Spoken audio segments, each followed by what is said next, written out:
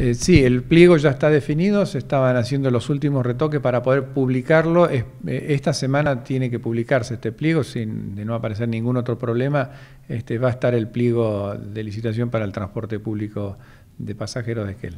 La semana próxima sería. Tendría que ya la semana próxima, este, no sé, yo no recuerdo ahora cuál es el plazo de estudio que tienen las empresas para, para presentar sus propuestas.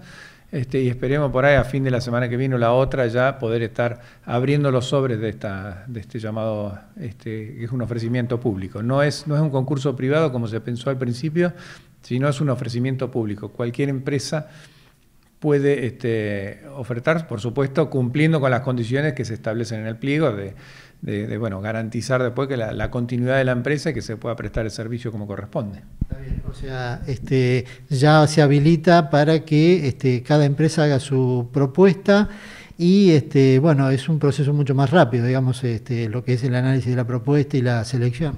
El ofrecimiento público tiene esto que es este, más, eh, más rápido que una licitación. Este, sin embargo, bueno, es pública, o sea, cualquiera puede presentarse mientras cumpla con, los requisitos eh, del pliego. Eh, así que bueno, esperemos ya lo antes posible poder estar definiendo este tema.